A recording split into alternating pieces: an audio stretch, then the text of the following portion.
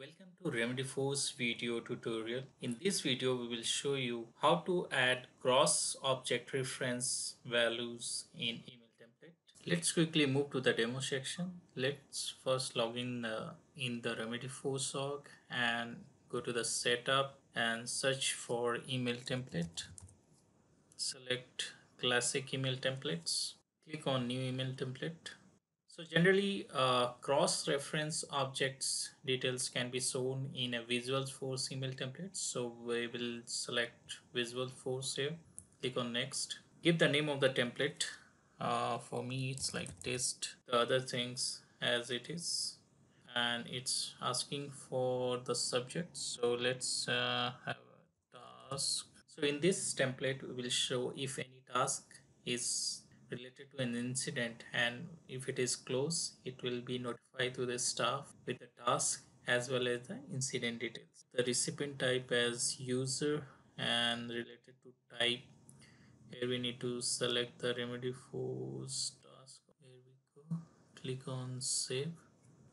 Once it is saved we can see this is the default Visualforce template that's been created we need to edit it based on our requirement.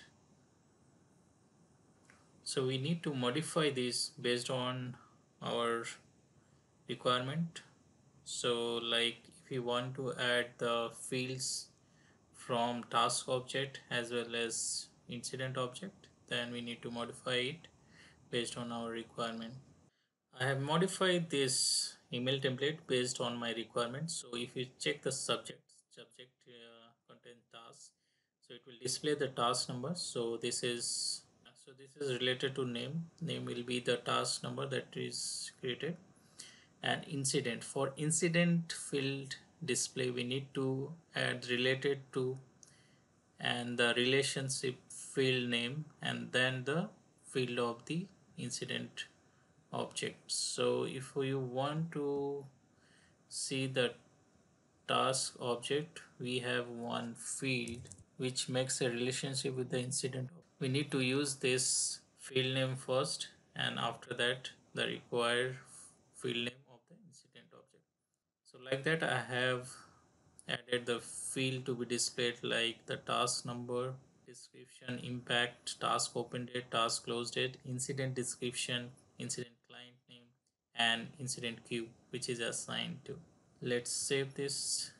So this is saved. Now this email template is created. Now we need to verify it whether it's showing the correct or sending the correct field values or not. So let's quickly click on the test and verify merge field. So I will select my name here. And the task ID is the record ID of that particular task. And I will send and preview email to this user that is my so I will soon receive an email in my outlook. Here we go. I have received an email with the task number link to incident is close and this is the details about the task linked to the incident. This concludes how to add cross object reference values in email template. I hope this video was informative and thanks for watching